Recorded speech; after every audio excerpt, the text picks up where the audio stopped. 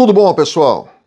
Vou falar hoje com vocês uma boa notícia para muitas pessoas. Muitas pessoas me perguntavam isso e acaba sendo uma boa notícia para todo mundo aqui que pretende viajar para os Estados Unidos e que quer vir aqui, mas tinham sempre aquela questão da vacinação. Né? Essa questão da vacinação que foi muito polêmica para muitas pessoas, muitos quiseram tomar a vacina, outros optaram por não tomar a vacina, e essas pessoas que optaram por não tomar a vacina muitas vezes tinham problema na hora de embarcar para muitas viagens aqui para os Estados Unidos, é, inclusive na hora de fazer a solicitação de green card. Apesar de na hora de fazer a solicitação de green card eles estavam aceitando alguns é, relatórios médicos, né? Se a pessoa não podia tomar vacina por algumas questões, elas tinham um relatório médico e acabavam não apresentando isso e acabavam sendo dispensadas pelo próprio médico. Alguns casos aqui, inclusive, aconteceram com clientes nossos que são pessoas que, por questão religiosa, não, não podiam tomar a vacina ou não, não queriam tomar a vacina por opção religiosa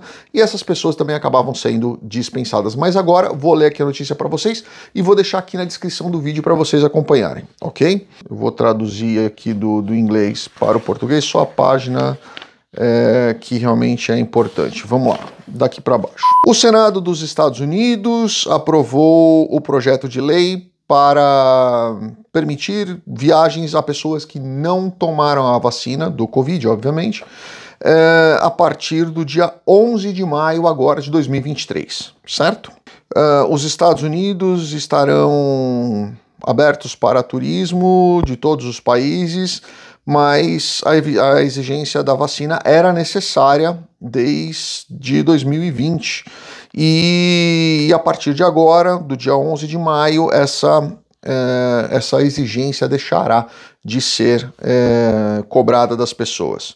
Esse ano, a Câmara aprovou por 229 votos a 197 votos que a exclusão da necessidade da apresentação das, das vacinas antes dos embarques nos aeroportos com voos destinados aos Estados Unidos. Ou seja, para quem não tomou vacina ou para quem tomou vacina agora não será mais é, não fará mais diferença nenhuma, mas a partir do dia 11 de maio, agora as pessoas estarão dispensadas de apresentar o, os comprovantes de vacina na hora de embarcar para os Estados Unidos. Não serão cobrados nem na hora do embarque e nem na hora que chegarem aqui nos Estados Unidos. Eu imagino que também é, isso aqui vai acabar se, se, se alastrando e abrindo aí também para os exames médicos para green cards. Então isso vai acabar também afetando, mais cedo ou mais tarde vai acabar afetando isso também e vão acabar sendo dispensados também. Vamos aguardar uma definição da USCIS para essa questão dos green cards, porque eles devem publicar isso, tornar isso é, público e oficial. Não há nada ainda nesse exato momento com relação, até hoje, na verdade,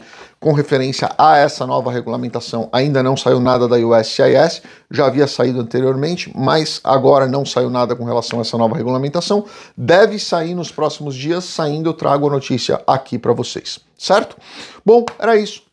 Deixa a sua opinião aqui embaixo, o que você acha disso daí. Se já deveriam ter liberado antes, na minha opinião, já deveriam ter liberado isso antes, porque muitos outros países já não estão mais cobrando esse tipo de, de comprovante de vacinação. Excesso de cautela também não faz mal a ninguém e acaba sendo interessante aí até para o controle das pessoas que entram e que saem. Mas deixa a sua opinião aqui embaixo, o que, que você acha sobre isso aí. Grande abraço, fiquem com Deus, obrigado.